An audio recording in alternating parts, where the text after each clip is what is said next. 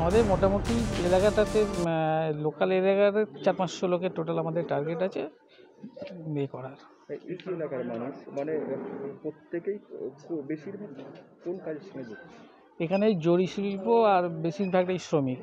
হ্যাঁ জড়ি মানে হ্যাঁ জরিও বন্ধ আর কলকারখানা কয়েকটা জরুরি পরিষেবার সাথে যুক্ত যে কলকারখানাগুলো আছে সেগুলো ছাড়া প্রায় সবই বন্ধ। তাদের অবস্থা এখন এই বেশ কুড়ি বাইশ দিন লকডাউন কাটিয়ে তাদের অবস্থা এখন কেমন? না না, খুবই খুবই তারা মানে কষ্টের মধ্যে আছে। কারণ বেশিরভাগ মানুষই তো আমাদের এখানকার দিন আনে দিন খায়। তাদের সোর্স অফ ইনকামটা বন্ধ হয়ে গেছে বা তাদের কিছু জমানো নেই যে সেখান থেকে তারা নিয়ে এই সময় খাবে। খুব এর মধ্যে আছে আমাদের ক্লাবের তরফ থেকে। যতটা সম্ভব আমরা চেষ্টা করছি পাশে দাঁড়ানো। আজকে দিচ্ছি, আবার কয়েকদিন পরও কিছু দেওয়ার প্রোগ্রাম আছে। আজকে কি প্রথম দিন? হ্যাঁ আজকে প্রথম দিন। আজ দেওয়া হবে আগামীকালও দেওয়া হবে বিকালেও দেওয়া হবে। আমার নাম জনকল্যাণ খাঁ।